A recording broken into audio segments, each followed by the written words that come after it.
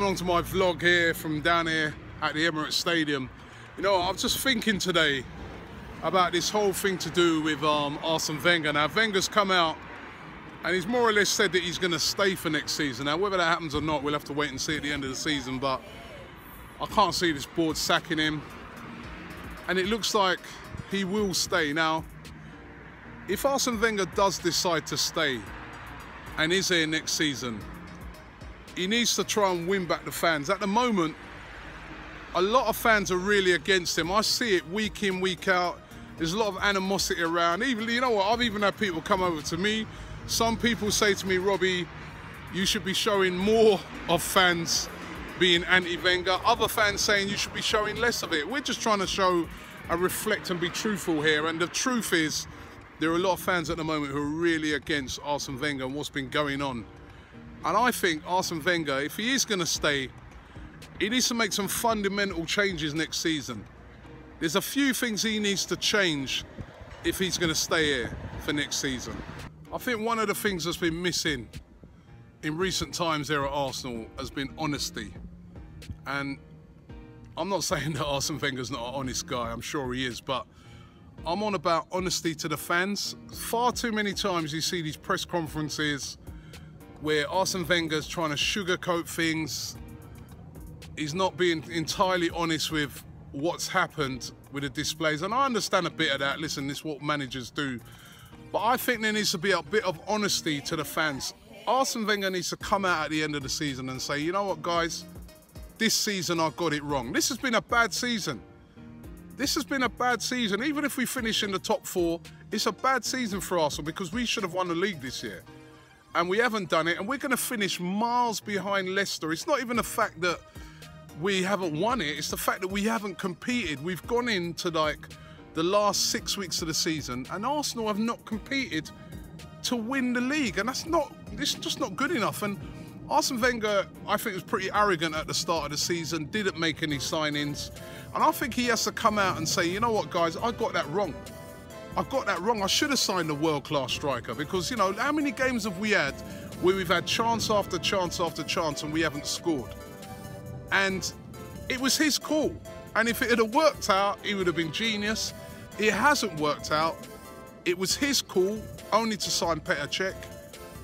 And I think he has to take the blame. And he has to admit that. He has to come out and say, you know what, I got it wrong, but I'm going to put it right this summer. And I think if he does that, I think there's some fans out there who will have a lot of respect for that and say, well, at least he's doing it a bit different and telling the truth this time because I don't think sometimes these guys grasp the modern day, modern day social media and how it is. You know, people want honesty. You can't sugarcoat things because it's all over the place. And I mean, everybody's talking about it. Everybody's discussing it. They're discussing it on platforms like Arsenal Fan TV.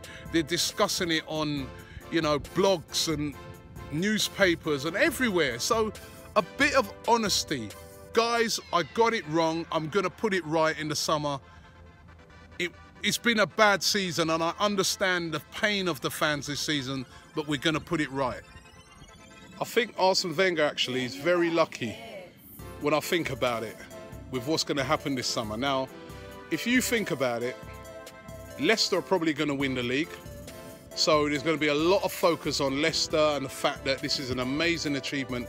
All the newspapers, everybody going to be going on about that at the end of the season.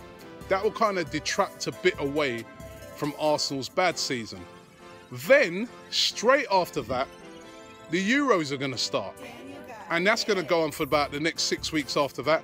And everybody then's going to be talking about the Euros. No one's going to be talking much about Arsenal. I mean, there'll probably be about a week or so where fans are you know, upset and, you know, there's a lot of stuff going around.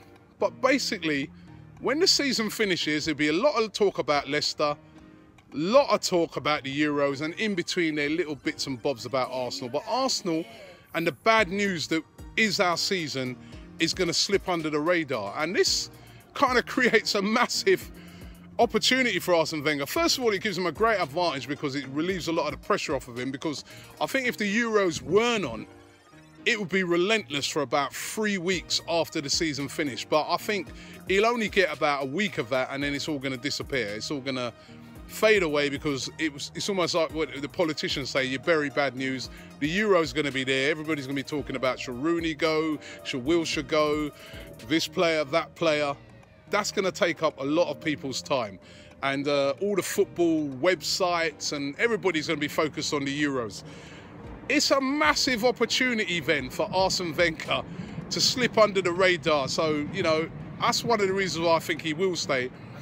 But when he slips under that radar, what he's got to do is he needs to think about his strategy for next season. And one of those things he needs to do is he has to, has to. He cannot afford to not do this.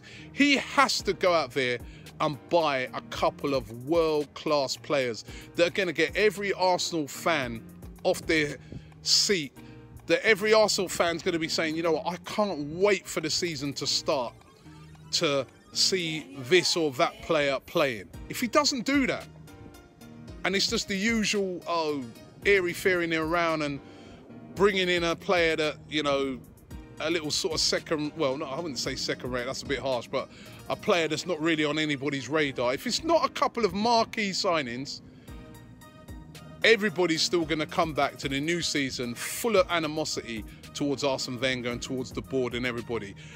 This is the biggest ever transfer window for Arsenal Football Club in my eyes. It's the biggest ever. If they get this wrong, if they don't bring in the type of marquee players that the fans crave, it's going to be horrible here for the opening, say, month of the season, especially if we got off to a poor start. It's massive this summer in the transfer window. If Arsene Wenger gets that right and brings in a couple of signings, it can restore uh, restore back a bit of faith, restore back a bit of enthusiasm with the fans. What I'm talking about the sort of players as well that he's going to have to think about buying, I'm not talking about, like I said, little players. I think I want to see somebody like a Higuain being considered if Neymar's available, I want us to be in that conversation. And I know people are going to look at this and laugh and say, don't be stupid, Robbie. But this is what I'm saying. This is the sort of thing that needs to happen to start restoring the faith into the fans. Why are we not in a conversation if, say, Neymar was available? We could afford to pay him £200,000 a week. Why not? We haven't spent no money for God knows how long anyway. We can afford to pay him now. We've got money. Look at the size of this place. Look at this. Look. Was there no money around here? We really got to make a statement. We really got to make a statement. Arsene Wenger, you've got to make a statement to win back these fans. Look, they used to players like this guy, Tony Adams. You've got to make a statement. I think finally, there has to be an admission that there's been some poor players at Arsenal this season. Some of them might have to be shipped out, and I'm talking about guys like Theo Walcott, who's been one of my favourite players. He may have to go. I'm talking about Flamini, Arteta, these guys. They're going to have to go, and we're going to have to, as Reddy said, you know, bring in the right players. But also, I think we need to address our defending. Our defending for the past few seasons has been awful. Now, I don't know if this is a case of bringing in somebody who has expertise. With the ball, we're brilliant. Without the ball, we're awful. Simple as that. That has to be addressed this summer.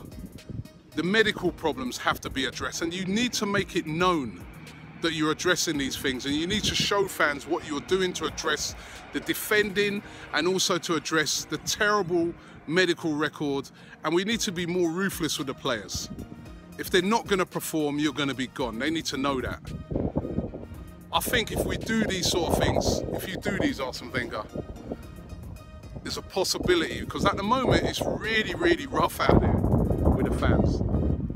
But you've got an opportunity to try and win them back. Do not miss out on this opportunity. It's the last one, I think. Anyway, time to go home.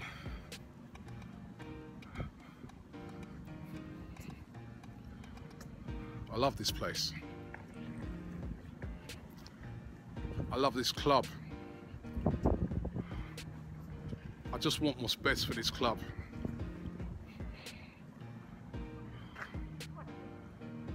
What is best? Is it Arsene Wenger staying? Is it Arsene Wenger going? I don't know. If he stays, you've got to make these changes. It's going to be rough next season. Chelsea, they're going to be better next year. They've got Conte coming in. He's a, a top manager. They're not going to have to worry about any sort of European football. They can just go full pelt at the league. Manchester City are going to have Pep Guardiola. You know what that's going to mean. Much better team. Man United will probably have Mourinho. Tottenham will improve. Leicester will be the champions. They'll probably improve and bring in a couple of players. Liverpool, Jurgen Klopp, they're going to get better. It's possibly going to be the hardest league ever to win. I want Arsene Wenger, I want the board, everybody connected with behind the scenes there to think about those things. And we want to be challenging next season. Look at this club, look at the sides of this place. Look at this great club. Let's do the right thing.